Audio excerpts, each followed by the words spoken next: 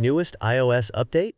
Already jailbroken. So yeah, I'm rocking iOS 26.0.1 right now. Go back to Safari and visit unc0ver.vip.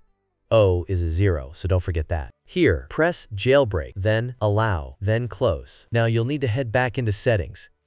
Do you see the option that says profile downloaded? On the pop-up window that appears, press install, enter your passcode if you have one, then tap install. After that, return to your home screen and you'll notice Unc0ver has appeared. Open the Unc0ver app and here click Jailbreak. And now, as you can see, guys, it is just jailbreaking my device without any trouble. Here, we're going to press Respring, and what this will do is basically restart the device with Sileo. And we did get the app right here, so be sure to try this out for yourself. Get the word out, because this is super cool.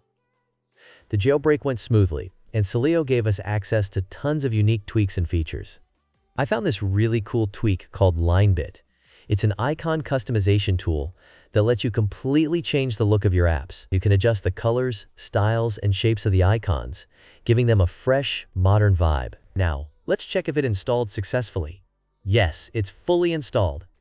I hope you enjoyed this. If it worked for you, be sure to share, and don't forget to like and subscribe for more tips.